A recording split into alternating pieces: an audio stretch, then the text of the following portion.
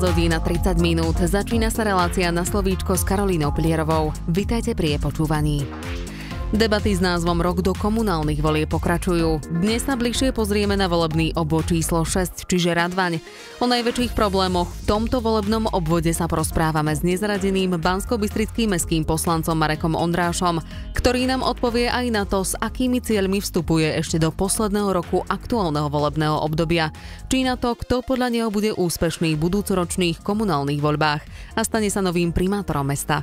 Pán Ondráš tu už sedí v štúdiu BBFM Rádia proti mne. Dobrý deň, Prajem. Ďakujem, že ste prijali naše pozvanie. Ďakujem za pozvanie a prajem príjemný, pekný deň. Vy ste aktuálne zo všetkých poslancov Bansko-Bystrického mestského zastupiteľstva vo svojej funkcii najkračšie. Prakticky ste nováčikom, keďže ste sa v roku 2018 uchádzali o post poslanca v komunálnych voľbách, ale v tom čase neúspešne. V marci tohto roku sa ale Svetozár Dlholudský, ktorý bol poslancom za volebný obvod číslo 6, vzdal poslaneckého mandátu a na jeho miesto ste nastúpili vy, aj keď ste boli až druhým náhradníkom, ale Alžbeta Lukáčová ako prvá náhradníčka neprevzala mandát. Keď sa vrátime späť do roku 2018, prečo ste sa rozhodli kandidovať? Prečo ste mali ambíciu vôbec vstúpiť do komunálnej politiky?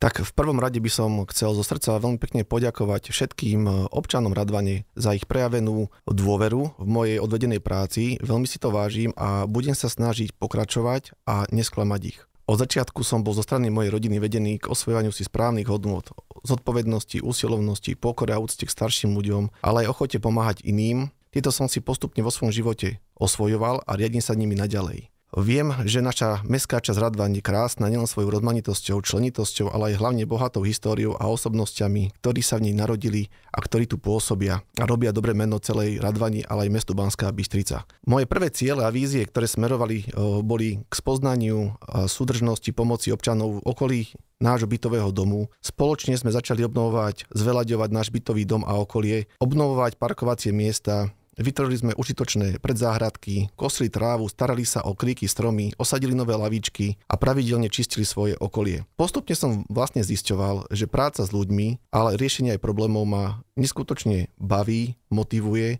a týmto pádom som sa snažil rozvíjať celú mestskú časť Radvaň. Postupne však pribudali nové podnety od občanov, tieto sa týkali problému verejného osvetlenia, odvozu odpadov alebo aj obnovy detských irísk či chodníkov a výtlkov na cestách. Snažil som sa tieto podnety a problémy občanov riešiť, aj keď nie vždy mi to vyšlo, ale o to viac ma to motivovalo k riešení ďalších podnetov a pomoci občanov. Čiže ľudia sa na vás obracali s problémami, aby ste ich riešili a to bolo vašou motiváciou. Táto dlhoročná a mravenčia práca, aj keď nevždy viditeľná, mala veľký úspech u mojich e, susedov, občanov Radvane, ktorí si to veľmi vážili a táto práca im pomáhala k sfalitneniu života na sídlisku. Preto sa na mňa obrátili, aby som kandidoval na poslanca za mestskú časť Radvaň. Ja v dôsledku ich prejavenej dôvery som sa rozhodol uchádzať o post poslanca a svoju prácu a ochotu pomáhať iným som chcel vyzvinúť na vyššiu úroveň pre skvalitnenie nášho života našej mestskej časti Radvaň. Vašich kolegov poslancov sa vždy pýtam, že s akými víziami vstupovali do aktuálneho volebného obdobia, ktoré z nich sa im podarilo naplniť. U vás je ale situácia trošku iná, keďže ste mali respektíve stále máte na realizáciu svojich cieľov kratšie časové obdobie. Pokúste sa aspoň teda zosumarizovať to, na čom pracujete v rámci práce poslanca aktuálne. V aktuálnom období sa nám podarilo začať s rekonštrukciou chodníka pri pošte, chodníka pri základnej škole Radvánska. Pokračujeme Radvánskou 5 až 11 a v budúcom roku chceme pokračovať v ďalšom obnove chodníka Radvánska 12 až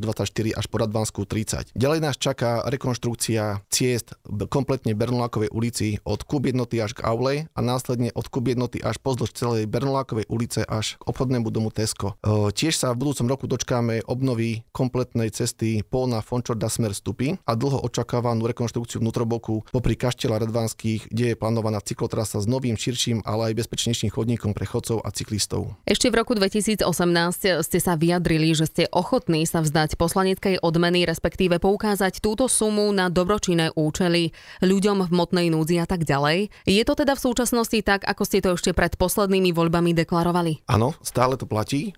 Snažím sa vždycky z tej mesačnej výplaty alebo teda odmeny pomáhať sociálne znevýhodneným osobám alebo seniorom, rodinami s deťmi, kde táto čiastka, ktorá je venovaná, pomáha buď na školské potreby potreby na zdravotné pomôcky, zdravotné lieky a ďalšie veci. Tiež v rámci tejto poslaneckej odmeny financujem aktuálne prebiehajúci náš projekt Radvanská záhrada, ale aj financujem rôzne naše aktivity, ako je Radvan Quiz alebo Radvanská turistika či Radvanská cykloturistika. Ešte predtým, než sa bližšie pozrieme na váš volebný obvod a problémy v ňom, nedá mi nepripomenúť, že vy ste povolaním policajt a teda ste príslušníkom Policajného zboru Slovenskej republiky.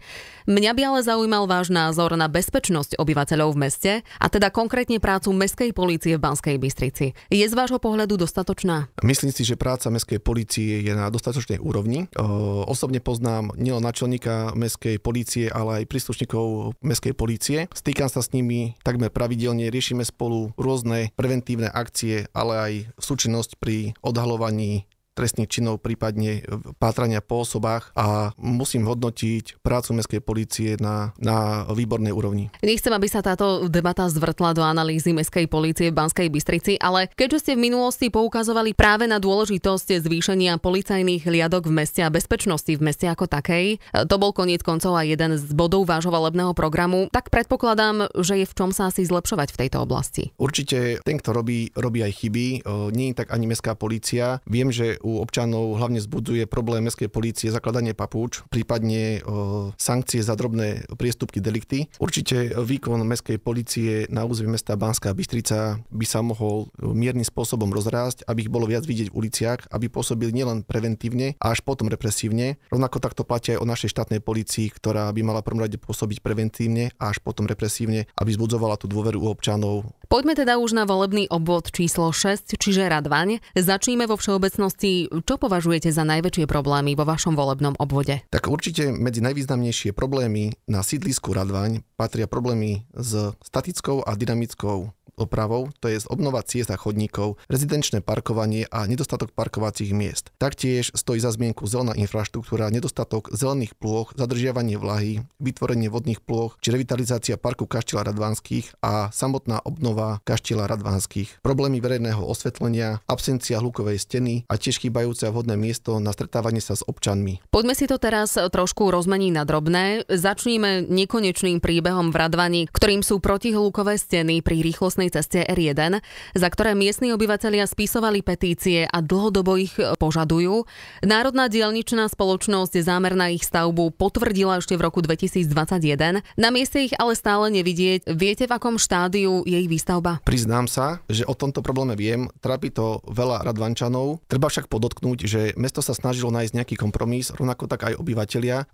Avšak Národná dielničná spoločnosť plánovala postaviť protihlúkovú stenu z takých betonovo železných konštrukcií, s čím obyvateľe Radvane neboli veľmi spokojní a požadovali zelenú stenu, ktorá by vlastne nadviazala na kus prírody, ktorá by nadviazala na prírodu a zároveň táctvo, hmyz a živočíchy. V súčasnosti je tento projekt na bode mrazu, dovolím si tvrdiť, snaží sa však s mestom komunikovať, ako pohnúť s týmto projektom a ak to tak môžem povedať, donútiť ďalšiu národnú spoločnosť k pokračovaniu tohto projektu a výstavbe zelenej protihlukovej steny. Spolu so susedným volebným obvodom južných častí mesta vás spája spoločná cesta a možno zároveň aj spoločný problém a to je štvorprúdová cesta na Sládkovičovej ulici, ktorá je síce v správe kraja, nie mesta. Komunikácia nie je v ideálnom stave a žiaľ je často miestom dopravných nehôd, ale ako upozornila miestna aktivistka Andrá Štulajterová z občianskej cykloiniciatívy, rekonštrukcia nemyslí na možnosti vytvorenia ďalších prvkov, ktoré by z komunikácie urobili moderný mestský bulvár na miesto v úvodzovkách diálnice. Malo by byť mesto aj v takomto prípade podľa vás aktívne? Určite áno. Myslím si, že mesto by malo v prvom rade sa vyjadrovať k takémuto plánovaniu a projektu, rovnako tak zapojiť do toho aj miestnych obyvateľov a ich pripomienky. Mnohí obyvateľia sa s trochou smútku pozerajú na zaostávajúcu rekonštrukciu Kaštieľa Radvanských, ktorú má vo svojej gestii Akadémia umení, ktorá ho získala od mesta do prenájmu. Podarilo sa jej získať viacero dotácií, stále však nie na úplné dokončenie rekonštrukcie. Máte informácie o tom, v akom je toto stave? Park Kaštela Radvanských, ako aj samotný Kaštiel Radvanských má v dlhodobej nájomnej zmluve Akadémia umenia, ktorá za posledné roky investovala niekoľko miliónov eur na obnovu Kaštela Radvanských. V súčasnosti mesto však plánuje Park Kaštela Radvanských vyňať z nájomnej zmluvy a urobiť dendrologický prieskum a následne v priebehu tak asi dvoch rokov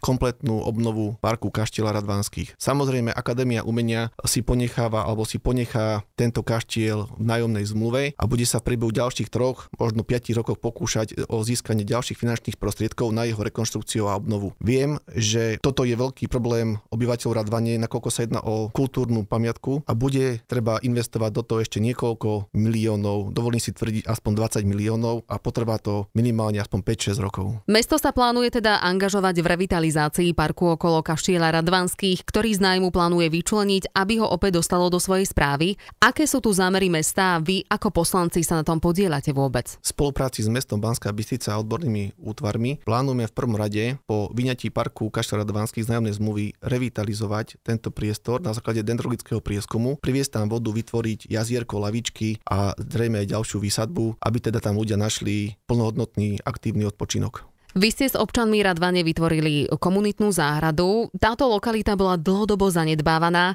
Ako sa na tom podielali obyvatelia Radvane a aké sú reakcie ľudí? Áno, spolu s občanmi Radvane sme vytvorili krásny oddychový priestor, nazvaný ako Radvanská záhrada, a to vďaka e, spolupráci Zdravotníckej univerzity a Auli SZU, kde spolu s Patrikom Trnkom, rejiteľom Auli a Lubicou Počovou a Milicou Kolárovou a ďalšími aktívnymi a úžasnými ľuďmi Radvane sa nám podarilo v priebehu 6 mesiacov vybudovať krásny zelený priestor, ktorý dlhé roky slúžil ako odpočinok pre neprispôsobivých občanov a uložisko smeti. Na tomto projekte pracovalo cez 60 ľudí, občanov nielen Radvane, ale aj iných sídlísk. V spolupráci s mestom Banská Bystrica, e, s Zaresom, ale aj Stredoslovenským múzeum sme vytvorili aj spolupráci s materskými školami a základnými školami krásne edukačné výučby nielen o vtáctve, o hmyze, o ochrane prírody, ale prispievali sme aj k rozvoju takej zručnosti a gramotnosti detí. Začali nám tam furíkovať, kosiť, natierať a pravidelne sa tam stridajú občania, ktorí si tam hľadajú oddychové miesto.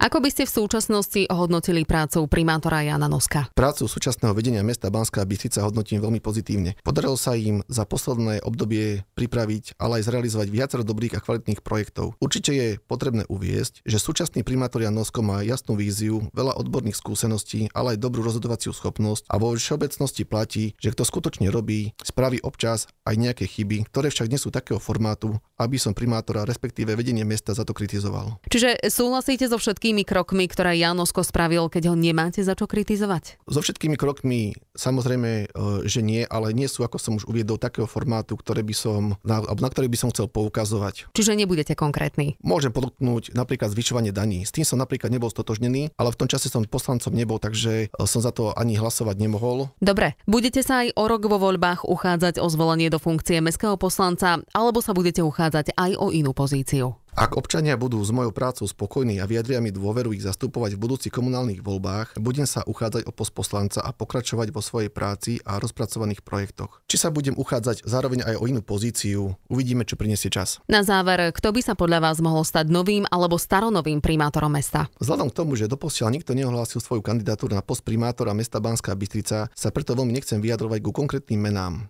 Určite by to mal byť však človek, ktorý je pracovitý, spravodlivý, nekonfliktný, ochotný si vypočuť obe strany a prijať konštruktívnu kritiku. Ale zároveň musí poznať fungovanie nielen Mestského úradu, ale aj mesta Banská Bystrica, poznať potreby a problémy občanov a má jasnú predstavu a víziu pre rozvoj mesta Banská Bystrica. Pán Odráž, v tejto chvíli čas vyhradený pre túto reláciu sa naplnil. Ďakujem vám za rozhovor a želám ešte všetko dobré. Ďakujem veľmi pekne za pozvanie a príjemný rozhovor. Prajem vám a našim spoluposlucháčom v tejto dobe hlavne veľa pevného zdravia a príjemný zvyšok dňa. Vám, milí poslucháči, ďakujem za to, že ste boli dnes s nami. Reprízu tejto časti si budete môcť vypočuť v nedeľu o 13.30 a ja sa na vás teším opäť o týždeň.